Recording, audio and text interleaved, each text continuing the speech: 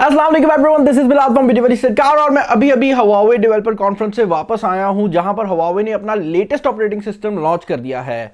अब हवावे एक latest operating system launch करेगी, इसके बारे में लीक्स और रूमर्स हमें काफ़ी टाइम से मिल रहे थे और मैं फैसलाबाद से यहाँ चाइना तक आ गया हूँ। तो मुझे भी एस्टिमेट तो था कि हवावे कोई ना कोई नया काम ज़रूर करेगी, लेकिन जो उनने लॉन्च किया है, वो मेरे समेत कोई भी एक्सपेक्ट नहीं कर रहा था। और ऑनेस्टली जब उनने स्टेज पर बताया कि हम ये चीज़ करने जा रहे हैं तो एक दफ़ा के लिए मैं सोच में पड़ गया कि यार, क्या वाकई हुआ ये कर सकती है कि नहीं? तो पहली चीज़ तो मैं यहाँ पर ये क्लियर करना चाहूँगा कि हम लोग ये चीज़ सोच रहे थे कि हवावे एक ऑपरेटिंग सिस्टम लॉन्च करेगा जो कि उनके सेलफोन डिवाइसेस के लिए होगा और जो गूगल का एंड्रॉयड है, उससे डायरेक्टली कम्पीट करेगा। लेकिन हवावे उससे एक स्टेप आगे चला गया है। मैंने तीन चार दिन पहले एक वीडियो बनाई थी जिसका ओएस के ऊपर जो कि गूगल का आने वाला ऑपरेटिंग सिस्टम है जिसके अंदर आपको काफ़ी नई टेक्नोलॉजीज़ देखने को मिलेंगी और आपको वो वीडियो काफ़ी पसंद आई थी। इंटरेस्टिंग बात यह है कि हवावे अपने ऑपरेटिंग सिस्टम के साथ गूगल के एंड्रॉयड से कम्पीट ही नहीं कर रहा। वो कम्पीट कर रहा है डायरेक्टली उस ऑपरेटिंग सिस्टम से, जो कि कुछ टाइम बाद गूगल लॉन्च करने वाली है। अब जिस तरह गूगल ने ये चीज़ सोची है कि एंड्रॉयड जो है वो कुछ टाइम में पुराना हो जाएगा और वो हमारी जरूरियात को पूरा नहीं कर सकेगा, उस तरह हवावे भी ये बात जानती है और इंस्टेड के वो गूगल के एंड्रॉयड से कंपीट करे, जो कि उनका मौजूदा ऑपरेटिंग सिस्टम है, वो उस चीज़ से कंपीट कर रहे हैं, जो कि गूगल ने अभी डेवलप करना है। अब, यहाँ से आगे वीडियो जो है, वो थोड़ी सी कॉम्प्लिकेटेड होने वाली है तो अगर आप सिंपल बंदा है, मैं आपको बता दूँ कि हवावे ने एक नया ऑपरेटिंग सिस्टम लॉन्च कर दिया है, जो कि अभी एंड्रॉयड से कम्पीट नहीं करेगा, लेकिन उसके अलावा बाकी सारी डिवाइसेस के ऊपर आएगा। लेकिन अगर आप ज़्यादा टेकी किस्म के बंदे हैं तो भाई मैं कोशिश करूँगा कि आसानी से एक्सप्लेन कर दूँ। जितने भी ऑपरेटिंग सिस्टम इस टाइम दुनिया के अंदर चल रहे हैं, वो यूज़ कर रहे हैं लिनक्स और यूनिक्स का कर्नल और ये जो कर्नल्स हैं, ये काफ़ी हद तक काफ़ी पहले बनाए गए थे 1980s 70s के अंदर ये डेवलप हुए थे. और उसके बाद इनको दो हिस्सों में डिवाइड कर दिया गया. एक हिस्सा जो था वो एप्पल इस्तेमाल कर रहा है और बाकी जो आपको ऑपरेटिंग सिस्टम मिलते हैं, वो विंडोज़ हो वो एंड्रॉयड हो, वो कोई भी ऑपरेटिंग सिस्टम हो, वो इन्हीं कर्नल्स के ऊपर बेस्ड है. अब कर्नल क्या होता है? वेल well, आपके हार्डवेयर के दरमियान में और आपकी सॉफ्टवेयर जो आपके मोबाइल फ़ोन पे कंप्यूटर पे चल रही होती है उसके दरमियान में जो कम्युनिकेशन होती है ना जो चीज़ दरमियान में मौजूद होती है वो कर्नल होता है। और किसी भी ऑपरेटिंग सिस्टम के काम करने के लिए कर्नल ज़रूरी होता है। और इसी कर्नल को जो है कंट्रोल किया जा रहा होता है। अब एंड्रॉयड का जो कर्नल है वो लिनक्स बेस्ड है लेकिन हवावे यहाँ पर एक नई ही चीज़ लेकर आने वाली है जो कि बाय द वे गूगल अपने फुजिस्का ओएस के अंदर भी लेकर आ रही है लेकिन गूगल ने उस चीज़ को एडमिट नहीं किया। लेकिन आज की जो हवावे की प्रेजेंटेशन थी उससे हमें काफ़ी हद तक क्लियर हो गया है कि गूगल आगे क्या स्टेप लेगी या हवावे क्या स्टेप ले चुकी है। वेल well, सिनेरियो कुछ इस तरह है कि आप लोग ये बात तो जानते ही होंगे कि हमें अपनी जो मोबाइल फ़ोन डिवाइसेज हैं उनके अंदर एंड्रॉयड मिल जाता है। कुछ लैपटॉप्स भी आ रहे हैं एंड्रॉयड वाले। ये नहीं है, वैसे लैपटॉप्स आ रहे हैं। टैबलेट्स के अंदर भी एंड्रॉयड आता है और कुछ घड़ियाँ भी हैं जिनके अंदर आपको वेयर ओएस मिल जाती है जो कि बेसिकली एंड्रॉयड है। लेकिन प्रॉब्लम ये है कि अगर आप इन चीज़ों की बात करते हैं तो इनके अंदर तो फिर भी प्रोसेसर्स लगाए गए होते हैं, जो कि किसी भी ऑपरेटिंग सिस्टम को, किसी भारे ऑपरेटिंग सिस्टम को सपोर्ट कर सकते हैं। लेकिन अगर आप बात करते हैं फ्यूचर की तो फ्यूचर के अंदर ये जो लैंप लगा हुआ है ना भाई इस लैंप ने भी स्मार्ट हो जाना है और इसके अलावा अगर आप अपने विंडोज़ के ब्लाइंड्स की बात करते हैं, उनने भी स्मार्ट हो जाना है।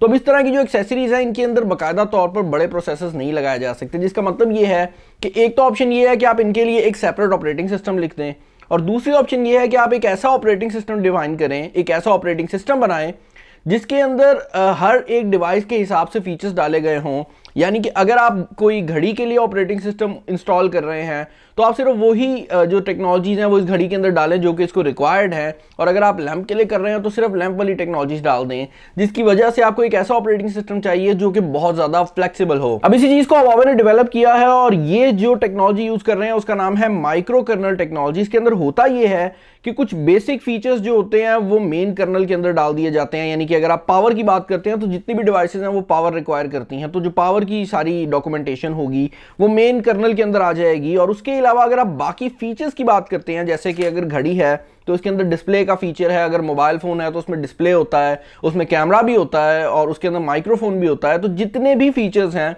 इन सबको छोटे छोटे माइक्रो कर्नल्स के अंदर लिख दिया जाएगा और उसके बाद ये सेपरेटली एक ऊपर वाली लेयर के अंदर मौजूद होंगे। अब इसका फ़ायदा क्या मिलेगा? इसका फ़ायदा ये मिलेगा कि अभी के लिए जो सॉफ्टवेयर डेवलपर्स हैं, जो बंदे सॉफ्टवेयर बनाते हैं जब वो सॉफ्टवेयर लिख रहे होते हैं तो वो मोबाइल फ़ोन के लिए जब बना रहे होते हैं, उन्हें पता होता है कि अब हम मोबाइल के लिए बना रहे हैं। जब वो घड़ी के लिए बना रहे होते हैं तो उन्हें पता होता है कि वो घड़ी के लिए बना रहे हैं। लेकिन इन फ्यूचर क्या होगा? कि कोई भी सॉफ्टवेयर डेवलपर जब सॉफ्टवेयर बनाएगा तो वो ये नहीं देखेगा कि वो मोबाइल फ़ोन के लिए बना रहा है या वो घड़ी के लिए बना रहा है, बल्कि वो ये देखेगा कि जिस चीज़ के लिए वो बना रहा है, उसके अंदर ये ये फैसिलिटीज़ होनी चाहिए। लाइक अगर मैं एक सॉफ्टवेयर डेवलपर हूँ और मेरी सॉफ्टवेयर को एक स्क्रीन की ज़रूरत है और प्रोसेसर की ज़रूरत है तो मैं उन चीज़ों को सेलेक्ट कर लूँगा और उसके बाद जो मेरी सॉफ्टवेयर होगी, वो ऑटोमेटिकली घड़ी के लिए भी बन जाएगी।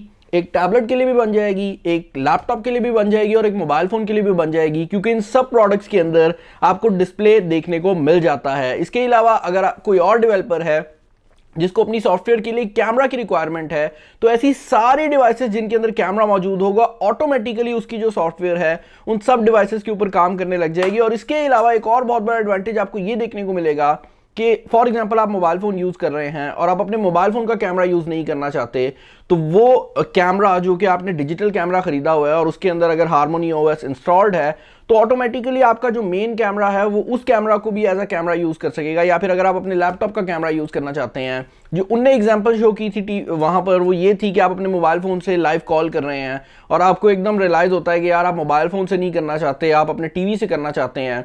तो वही कॉल जो है वो आप अपने टीवी से रिसीव कर लेंगे, क्योंकि असेंशियली आपने जो सॉफ्टवेयर लिखी होगी वो एक डिस्प्ले और एक कैमरा के लिए बनी होगी, और टीवी में भी डिस्प्ले और कैमरा होता है। और वीडियो कॉल के लिए मोबाइल फ़ोन में भी डिस्प्ले और कैमरा होता है तो इसके अलावा जो बाकी टेंशनें हैं, वो सारी हवावे अपने हारमोनी ओएस के थ्रू खुद ही हैंडल कर लेगी। अब यहाँ पर जो सबसे इंटरेस्टिंग चीज़ मुझे लगी है, वो ये है कि गूगल फुचिस्का ओएस अभी लॉन्च करने वाली है। इनफैक्ट अभी तक भी वो इसको प्रॉपरली सामने नहीं लेकर आए। लेकिन हवावे ने ना सिर्फ़ इसको पब्लिक को शो आउट कर दिया है, बल्कि उन्होंने ये भी अनाउंस कर दिया है कि कल के दिन एक पहली प्रोडक्ट लॉन्च कर दी जाएगी जिसके अंदर ये हारमोनी ओएस इंस्टॉल होगा। अब उनने कोई जो हमें डिवाइस है उसका नाम नहीं बताया, सिर्फ़ ये बताया है कि वो ऑनर की तरफ़ से होगी, जो कि उनका सब ब्रांड है। लेकिन लीक्स और रूमर्स की मानी जाए तो वो पहली डिवाइस जो है वो एक टीवी होने वाला है, एक स्मार्ट टीवी होने वाला है, जिसके अंदर आपको हारमोनी ओएस देखने को मिल जाएगी। और हवावे के रोड मैप के मुताबिक दो हज़ार बीस तक हम लैपटॉप्स और टैबलेट्स के अंदर भी हारमोनी ओएस को देख लेंगे। और उसके बाद हमें बाकी जो डिवाइसेज हैं, उनके अंदर भी ये जो ऑपरेटिंग सिस्टम है, मिल जाए जाएगा। जहाँ तक बात है मोबाइल फोन्स की तो हवावे ने यही कहा है कि अगर एंड्रॉयड को यूज़ करने में हवावे को कोई मसला नहीं आता तो उनका कोई प्लान नहीं है कि अभी वो एंड्रॉयड को हारमोनी ओएस से रिप्लेस कर दें। लेकिन अगर कभी बहुत ज़्यादा ज़रूरत पड़ जाती है तो वो बड़ी ही आसानी से इसको रिप्लेस कर सकते हैं। क्योंकि हारमोनी ओएस के अंदर अपने एप्लीकेशन की भी सपोर्ट मौजूद है, और उसके अलावा जो एंड्रॉयड की एप्लीकेशन होती हैं, वो भी डायरेक्टली इस ऑपरेटिंग सिस्टम पर चल जाएँगी। तो सॉफ्टवेयर डेवलपर्स को कोई नया कोड लिखने की ज़रूरत नहीं है। अब पर्सनली मैं बहुत ज़्यादा एक्साइटेड हूँ हारमोनी ओएस के रिलेटेड लेकिन तब तक मैं इसके बारे में कोई फाइनल वर्डिक नहीं दूँगा, जब तक मैं इसको यूज़ नहीं कर लेता, क्योंकि ये एक ऐसी चीज़ है जिसको क्लेम कर दिया है हवावे ने, लेकिन देखने में आएगा फ्यूचर में कि वो किस तरह की परफॉर्मेंस प्रोवाइड करती है। इसके अलावा हवावे ने अपना लेटेस्ट वर्जन का EMUI भी लॉन्च किया है, जिसकी कल हमें प्रेजेंटेशन बाकायदा तौर पर शो की जाएगी। तो उसकी जो वीडियो है, वो मैं कोशिश करूँगा कल बनाऊँ ताकि मैं आपको एग्जैक्टली exactly दिखा सकूँ कि क्या क्या नए चेंजेस आए हैं। आई होप आपको आज की वीडियो पसंद आई होगी और मेरी बातें समझ आ गई होंगी। अगर नहीं आई तो सॉरी लेकिन ये एक डेवलपर कॉन्फ्रेंस इसीलिए थी कि ये ज़रा ज़्यादा जो टेक वाले और डेवलपर टाइप के बंदे होते हैं ना, उनको समझ आने के लिए थी। चैनल पर नहीं तो चैनल को सब्सक्राइब कर लीजिएगा मैं कोशिश करूँगा कि इसी तरह वीडियोज़ और लेकर आता रहूँ। और, मुझे उम्मीद है कि ईद वाले दिन मैं पाकिस्तान पहुँचूँगा तो मेरी तरफ़ से भाई अभी भी आपको एडवांस ईद मुबारक है।